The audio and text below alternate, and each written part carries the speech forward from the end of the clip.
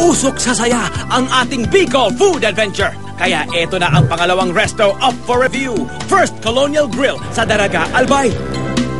Bukod sa mga kinagigiliwan ng putaheng Bicolano gaya ng tinutungang manok, may kakaibang pakulo ang First Colonial Grill na talaga namang tatak Bicol. First Colonial Grill ang pinagmula ng Sili Ice Cream. You heard it right, Sili Ice Cream! Pinaghahalo-halo ang all-purpose cream, sugar, gata, pulang food color at ang sili labuyo.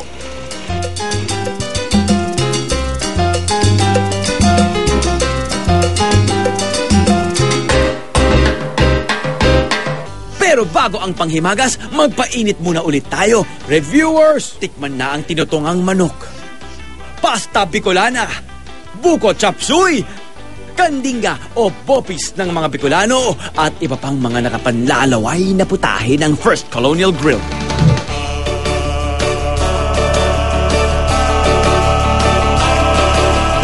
Pasta Bicolana. Oh, oh, hanghang. Yung longganisa ginagamit galing sa kinubatan. Parang hindi nga siya vegan longganisa. eh. Parang, parang chorizo. 89 pesos. Isang plato ng ligaya. Walang pera. Mukhang ano ah, panalo yung ano sa'yo ah. Buko chop suey ah, you like it? Okay nga, mamaubos na yun. Makaubusan na tayo ng Austrian. Malakas kumain. Makakalaban tayo dito. Bicolana pasta. It will fill you hot. Yes. Yung blockbuster tong pasta bicolana nyo ha. Nag-aagawan namin apat eh. Yan na nga po. Balik nyo ha. so, habang ah, pageant season, hindi ka nagda-diet? Bakit? Ayokong nagugutom. Oo, very good. Apir! Yan, sabihan mo yung mga ibang mga beauty queen dyan. Yan. Zero. Masarap. Pag sinunog yung coconut, tapos ipipigain, dito ang nagbibigay ng magandang flavor.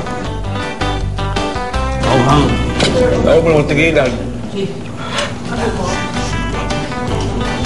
Ah! Sarap! Mukhang this calls for something cool. Ice cream! Pasok! Look at that chili ice cream. This one, it's so hot, yet it's so cool. Pop top sa Bicol.